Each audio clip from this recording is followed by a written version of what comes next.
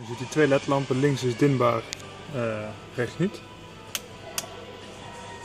Je ziet links kan gedimd worden en fel gezet worden. En de rechter ledlamp kan het niet.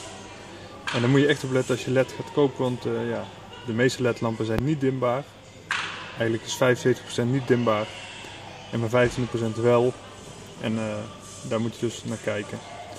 En vervolgens natuurlijk ook naar de watts en de lichtopbrengst en het kleurenspectrum. Maar goed, ik zal de link naar het bericht zetten compleet over ledverlichting. onder deze video mocht je het in YouTube zien.